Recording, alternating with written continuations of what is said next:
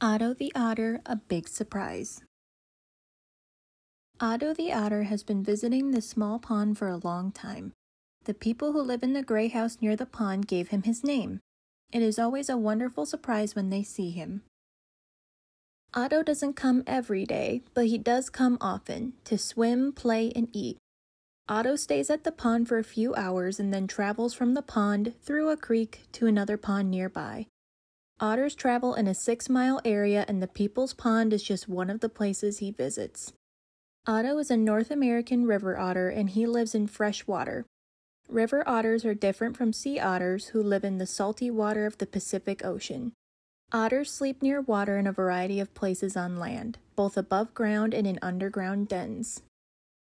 Otto leaves the pond at night. The people in the gray house don't know where he goes. Sometimes they see him leave as he squeezes through the fence on the other side of the pond. The people worry about Otto if they don't see him for a long time. Once he stayed away all winter and finally showed up again in the spring with a very big surprise. Otto turned out not to be Otto. Otto is a girl. How did the people realize that Otto is a girl? Otto came to the pond with two babies. The people changed the otter's name to Opal. Otter babies are called pups. Before they are born, their mother creates a quiet den where they will be born and kept safe. The pups spend their first month there. They can't see because their eyes are not open yet, but their mom watches over them. As the pups grow, the small pond near the gray house provides a safe place for them. The first few weeks that Opal brought them to the pond, they stayed all day. Their mom always keeps them close and looks after them.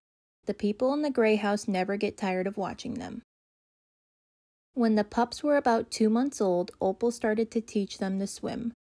The pups were not born knowing how to swim. Their mom also taught them how to look for food under the water. Otters eat fish, frogs, crayfish, turtles, and insects. They have long whiskers which help them find their food in dark or cloudy water. They also have special eyelids which allow them to keep their eyes open to see while swimming under the water. Otters can close their ears and noses, which allows them to swim underwater for almost eight minutes. Sometimes the otters disappear under the water, but the people can tell where they are by the bubbles that rise to the surface. The pups often leave the pond to play on the grass, clean themselves, and nurse from Opal. Mother otters continue to cuddle and nurse their pups for 14 weeks. As the pups continue to grow, they leave Opal's side and swim around the pond to explore and play on their own.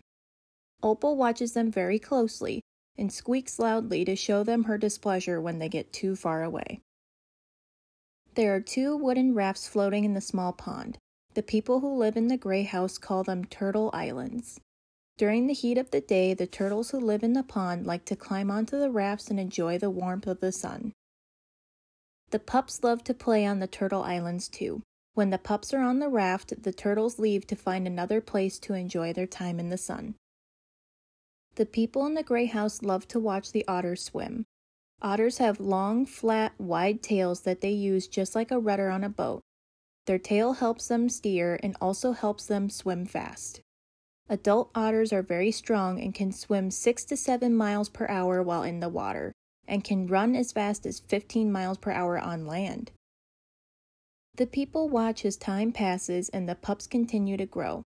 Opal moves them from the safety of the pond more often and takes them to other places. Sometimes they are gone for several days. Now, when they do come, they no longer stay very long. Their lives have become busier as they travel from pond to pond. The people in the gray house do not know how long or how often they will get to see Opal and her pups. Otter pups usually stay with their mother until they are a year old. The people hope they will get to see them for a long time and watch them grow. If the people in the gray house are lucky, maybe Opal will show up with a new litter of pups one day. The end. Thank you so much for listening.